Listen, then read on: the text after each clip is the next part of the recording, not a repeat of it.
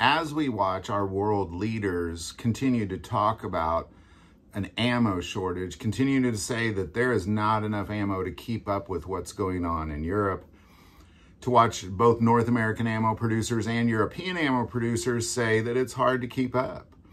And I know in many of those cases, we're talking about larger munitions, but keep in mind they take the same uh, raw material, they take the same components. So you're short on primers for small arms ammo, you're definitely gonna be short on primers for 155 millimeter shells. So as we watch that, we have a reliance here in the US on our private ammo manufacturers. But as it turns out, the largest ammo producer, uh, civilian ammo producer in North America, Vista Outdoors, just sold all of their ammo manufacturing plants. Not some of them, all of them. Uh, all the name brands that you're used to, CCI, Speer, Federal, Remington, HEVI-Shot, all of these have been sold to a Czech billionaire that's 30 years old. Now, here's why I am concerned. This is why I'm concerned. Uh, one, we're really hanging on by a thread. If there was any sort of panic moment where civilian U.S. civilians went out and bought a bunch of ammo, they'd be gone. It'd be gone quick, and it's not going to be replenished. And what we had before with Vista Outdoors was a organized, experienced effort. And what we have now is somebody that is uh, not experienced. Now, the other concern that I have is, you know, when you have the largest ammo producer in North America, civilian ammo producer in North America being run by a 30 year old, um, his net worth is, according to Forbes, today is worth $2 billion.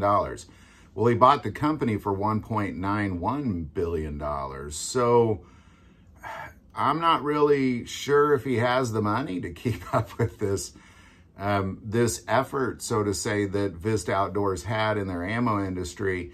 Uh, but, you know, we'll see.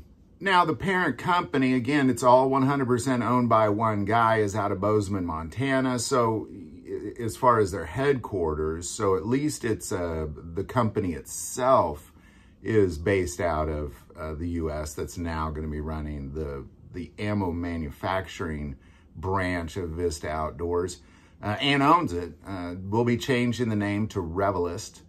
Uh, is based off of their current outdoor company, but it's uh, just one guy. It's a 30-year-old Czech Republic citizen uh, that has about enough net worth as this particular purchase is.